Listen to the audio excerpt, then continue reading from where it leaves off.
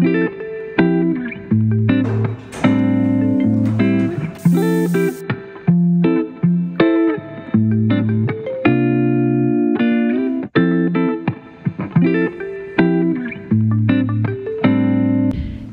morning you guys. I am filming a little day in life video to show you what I get up to during the day.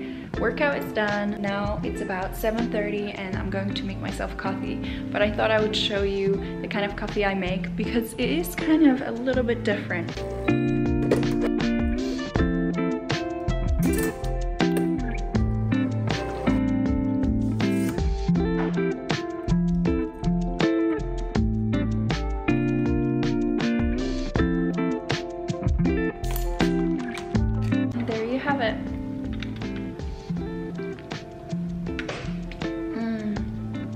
Like summer.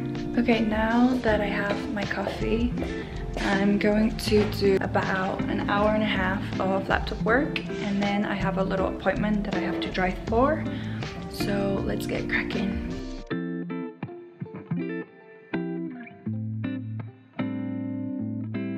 Okay, so just about to head to my appointment.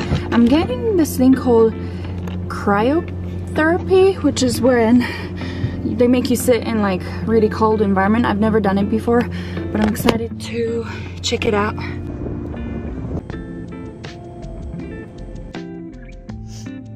Just finished. I went in for two minutes and it was literally the longest two minutes of my life freezing. All right, just finished my appointment. Let me tell you a little bit more about what I did. So cryotherapy, I think that's how you pronounce it. It's supposed to help you with your skin. It's supposed to help you feel energized. It has a lot of like good benefits you could read about it and I wanted to try it out because I've been hearing so much about cold plunges which I know it's slightly different but it has like similar benefits but I just didn't want to like get wet and have to you know do the whole thing I wanted something that was in and out and this is literally the quickest appointment go in you get undressed you put that robe on the hat the gloves the slippers and then you run in two minutes, listen to one song, and you're done.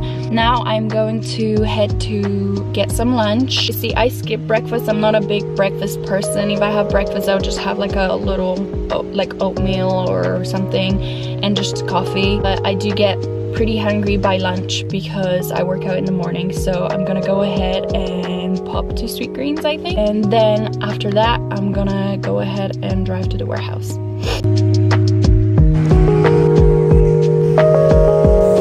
Alright, secured the goods and now I am on my way to the warehouse. Hello! Just walking to get a coffee with Jessica. Yeah. And Jessica is judging me for not ever going to the state fair. You've never been to the state fair. It's amazing. Nope, never. Not a true Texan. You need to go. How long have you been living here now? Four years, I think? Four years. Yep, and never ever had a chance. What's your favorite thing about the state fair? The food. It's the one thing I have The- to get. The corny dog. Ooh, or their fresh lemonade. fresh lemonade, everyone. Oh yeah, this would be a great fulfillment table. So cool. Jessica and I just assessing everything and trying. In the warehouse? this is a cute little coffee shop. Oh yeah, this would be ideal. Ours will get to that point. They'll grow. Hopefully we can keep them alive until that point. Voila! Cup is a chai latte with hot chocolate, like a chai latte mocha. Mm, Normally I wouldn't go for anything like this, but it's so. Delicious. All right, so Jessica has her coffee. Yay. I got mine in there and we are ready to get to work. Go. All right, so a lot of you guys have asked about the process of designing collections for Jubilee. What inspires me? How do I even get started? It's different for every single collection, but I wanted to give you a couple of different examples. I will look at different fabrics, like if my manufacturer has a new exciting sustainable fabric that they're sourcing, and they show it to me, I then kind of get inspired by the texture of it, see what kind of set would make sense with this kind of fabric. Like for example, for the fleecy sets, obviously it's cozy, so you want something that feels plushy and oversized, but with the waffle fabric, it's a little bit more elevated, luxurious, elegant. It almost feels like a robe. So in that case, I decided to go with flared uh, wide leg pants because I thought that it would give it more of that elegant feel. Now for the 90s collection, what inspired it wasn't the fabric itself, but the feeling of nostalgia and the colors that you will find on windbreakers.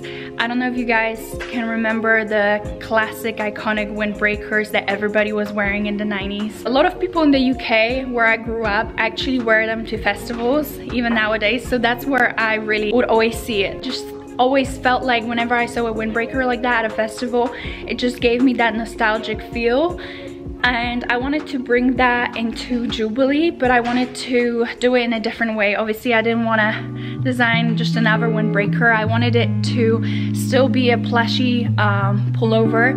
So that was like the initial thought process. So let me take you guys and show you some of my color palettes.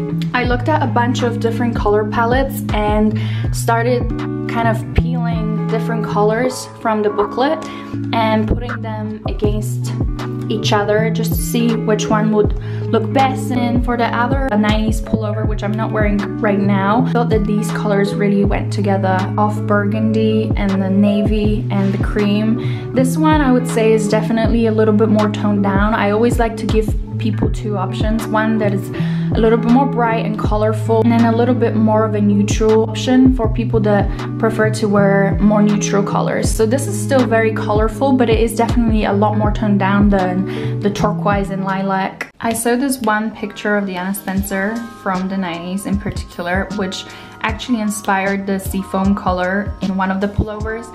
I know that this isn't a windbreaker, but it kind of gives me the same feel. So skiing in the 90s and windbreakers, the 90s nostalgia.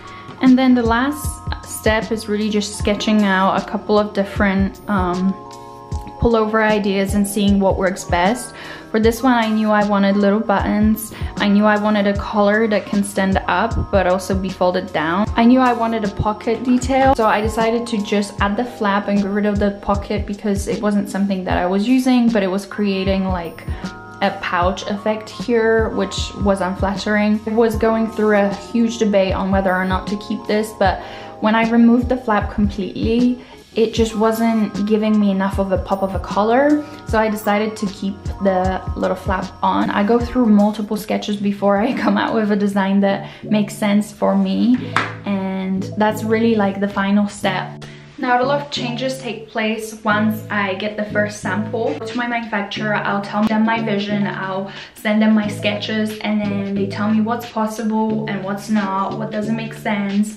Um, I can't sew myself, so I rely on a lot of their advices in terms of like what makes sense realistically. They always provide me with the feedback for that. I'm really fortunate to have really, really great manufacturers. Sometimes I will go through five, six samples for one collection before I am happy with the final result. So it does take a long time to get the perfect product. I'm gonna go ahead and start um, designing some new collections for summer. I know we haven't hit spring, but I always have to be, you know, a couple steps in advance because it does take a few months to really perfect the design and sample it, sample it, sample it again before I'm happy with the results. So I have to always um, do it a couple months in advance. So I'm gonna go ahead and do that.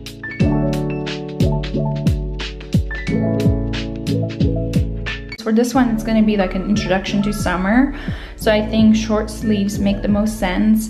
For this collection, I'm kind of inspired by those vintage Ralph Lauren kind of styled polo shirts where like you can steal it from your boyfriend and it's kind of like draping over your shoulders. So um, your shoulders will probably stop like right here. This will kind of just give that extra length to the sleeve. So the sleeve won't actually be that short. It will probably hit somewhere at the elbow. Since it's kind of oversized here, I'm thinking of different ideas to still have like that sexy element to it. And I think I might add like a little band here, like a little stretchy band. um, so that when you pull it, you can kind of crunch it together and then give yourself a waistline. Or if you want more of that oversized feel that day, you can release it. But I like having an option of two, so I think I'm gonna do that for this set. But this is kind of just like the basic sketch. Once I have the first sample, I will also add on it and kind of give my manufacturers like little notes on each section on what to change and whatnot. But yeah, this is kind of, not to bore you guys too much, but this is kind of like the baseline of things. All right, so it is about 3 p.m. now. I am done sketching and designing some of the collections. Jessica is just finishing up as well. I am gonna head home because I need to shoot these in one of the rooms in my apartment. I always do these photos of collections against the white wall on the rack as a little sneak peek. So I gotta do that because we are launching on Monday and it is already Tuesday. Um, so I need to post it on Wednesday, which is tomorrow, just so I have enough time to then show all the other sneak peeks of this collection. So I think I'm gonna start packing and head out now. Home sweet home. All right, so now I'm just gonna quickly move this big rack into our office bedroom.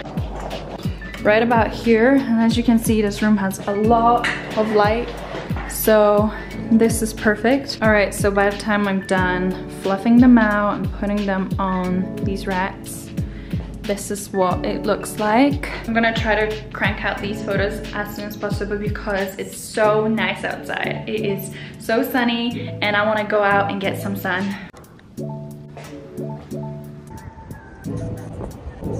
Finished getting some sun, showered, and got ready. And now I think we're gonna go to a little coffee shop to do a little bit more work. It's around 5.30. And then after we're done doing work for an hour or two, we're gonna go straight to dinner. So, see you then. Finally with Rylan, um, we ended up not going to a coffee shop. We work from home so now we're gonna just go straight dinner because it's 6.40. Feed me fruit rolls, feed me fruit rolls. I ran out. Immediately.